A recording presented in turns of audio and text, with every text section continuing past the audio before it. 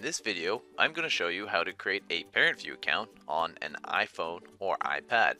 First, you'll need to open the App Store on your device. Once you have done that, tap on the search button in the lower right corner of the screen.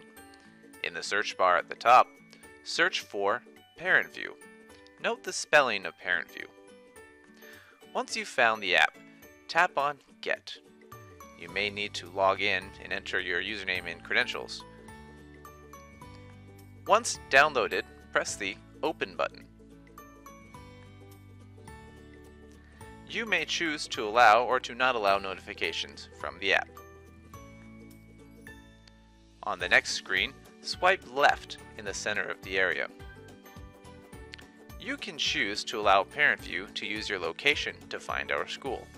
If you do not share your location, type in our zip code 93906, then press enter or tap on District Events. In the list that appears, select the Salinas Union High School District and tap Yes to confirm. In the box that asks you if you have an activation code, tap on Yes. If you accidentally press No or somewhere else on the screen, you're going to want to press the Have Activation key, Create My Account button.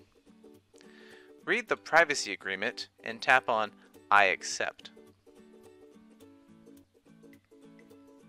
On this page, you will enter your first, last name, and activation key exactly as it was given to you by our school staff. Your names and activation key must match exactly what we have on file or will not work.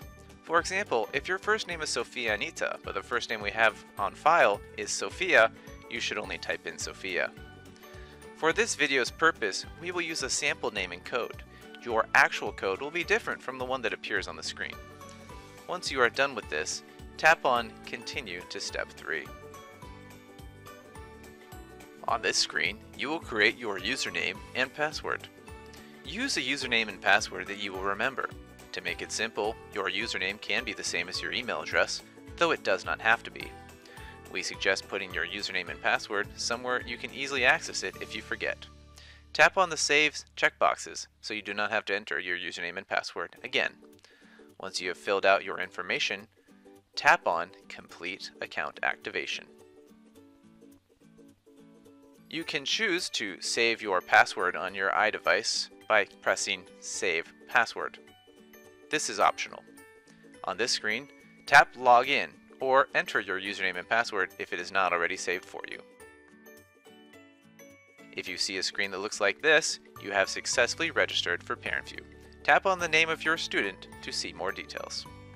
And that's how you create a ParentVUE account. Thank you for watching.